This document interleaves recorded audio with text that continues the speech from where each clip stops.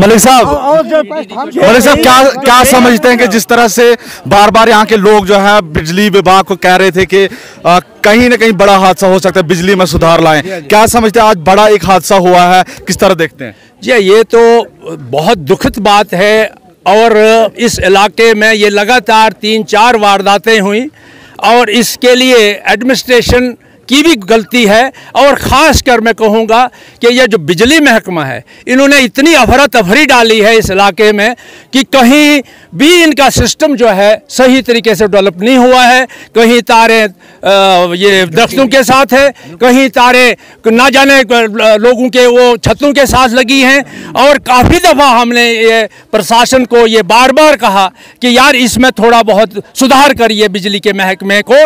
और देखिए, मैंने बार बार इनको कहा है कि ये जो ये जो वो जो वेल्डिंग सेट लगाए हैं इन्होंने जगह जगह लगाए हैं। इन्होंने बेड़ा गर्क कर देना है इस इलाके के लिए कि क्यों क्यों उनके अलग होता है एक ट्रांसफार्मर जो वेल्डिंग सेट होता है उसके लिए अलग सिस्टम होता है। इसी तरीके से मैं ये नाराज़ ना हूँ मेरे इलाके के लोग। यहाँ मक्की के जो प्लांट लगे हैं मक्की जो कूटते हैं उसमें भी इनको एहतियात रखनी चाहिए उससे भी हमें यहाँ खतरा है। लिहाजा मैं ये कहूँगा ये बड़ी दुखद बात है। इसमें एडमिनिस्ट्रेशन जो है इनके इनका अच्छा एक तरफ़ किराया बढ़ा है बिजली का इतना ज़बरदस्त लोगों के साथ नाइंसाफ़ी हो रही है। कहते हैं, जी, ये शासन जो है, ये प्रशासन जो है, ये लोगों की खिदमत कर रहा है। क्या खिदमत कर रहा है? अगर एडमिनिस्ट्रेशन इन चीज़ों में अगर दखल न दें, इनको अगर संभालें ना, मेरी तरफ़ से तो ये, मैं कहता हूँ, बहुत ही दुखद है। और वैसी एडमिनिस्ट्रेशन की हमें ज़रूरत नहीं जो इस तरीके की सोचे।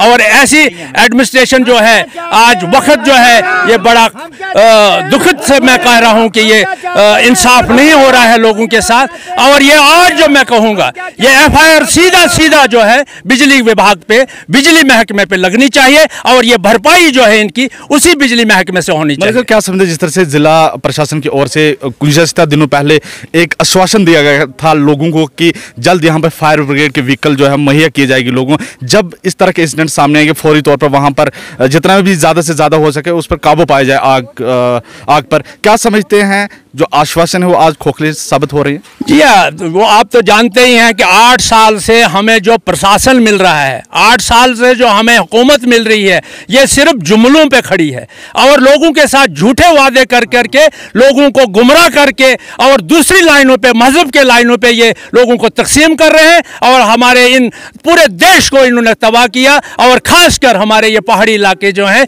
दूर दराज के इलाके हैं, इनको तुब्बत नेस्तो नाबूद कर कर कर कर रहे हैं ये।